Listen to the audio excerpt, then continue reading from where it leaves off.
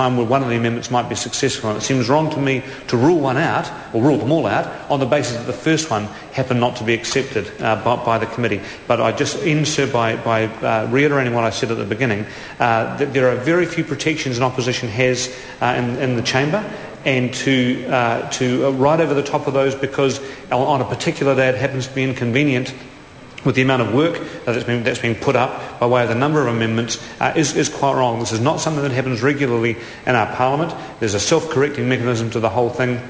And I think it would be wrong to take away the, the last protections that an opposition has uh, when we're in the Committee of the Whole in a minority sense.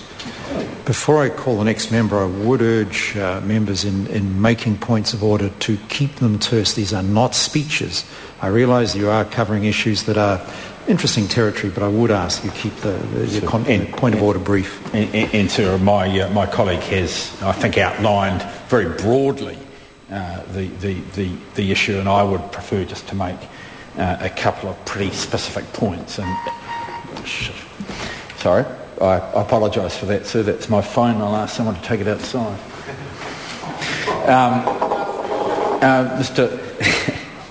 Mr. Speaker, the, the, the, three points that I want to make is that uh, Erskine May is, is quite clear, uh, but it does, uh, and, and being a lack of precedent um, in New Zealand, that would be the fallback uh, position. But, sir, um, there is some precedent for this sort of amendment being accepted, and my colleague has referred to one, and I think you will, um, if you cast your mind back, remember that, that it is a procedure that's been used in the past. And, and generally it has been negated by the government, um, where the government has, has, has um, um moved in a way which it can in the House by shifting the day, sometimes only by one day itself, and that way meaning that none of these further amendments uh, can be considered. Sir, I, um, I disagree with the Chairman's suggestion that um, amendments can be made at the first and second reading of this House. This,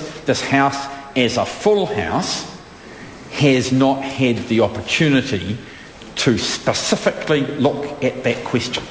This is the time for any amendment to be made. The, the, he's quite right that the committee could have considered it, and possibly if the House was of a mind to, the House could have sent it back to the committee um, after, after the report back in order for that to happen. But, but this is the first time this matter uh, has been specifically um, addressed. So, so, my point is essentially Erskine May is a fallback position um, that I can accept, and I differ somewhat from my colleague, um, uh, that shifting a date day by day is something which is substantially the same.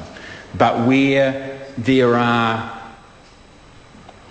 big gaps between the start and the end point and a wide range of options, uh, my suggestion, sir, is that the proper thing would, to do would be to rule many of them out, and I could even say most of them or three quarters of them, but, sir, there is enough difference uh, between some of these, if we accept the substantially the same argument, uh, for, for a range of them uh, to be put to the House. Sir, I, I, I know we're in, I mean, this is, um, this is the stuff that the ruling which is given here is one which will uh, no doubt appear in a green book in the, in the future, one way or the other, uh, because we are into unprecedented uh, territory.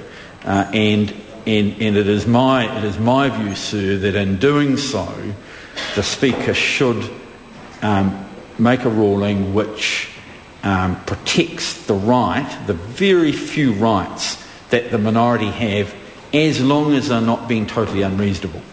And I, I, I, I can accept that putting all of these amendments would be totally unreasonable, but, sir, that doesn't mean that all of them should be ruled out. The Honourable Gerry Brownlee. Mr Speaker, I think in the um, opening remarks uh, on this issue to you by the Shadow Leader of the House, there was a little bit of a betrayal about why, in fact, we find ourselves in these positions. And I, I say this only because those remarks went uh, unchecked for quite a long time. Uh, the, the, reality is that uh, I understand his disappointment, but there we are. We're in this situation. Mr Speaker, Order. I, to... I just urge the honourable member, please, to, to uh, the, the, the, contributions uh, have been of good quality. I don't want to see a deterioration of this procedural uh, discussion under points of order. It is an important uh, procedural issue, and I, would ask the member to just to respect that.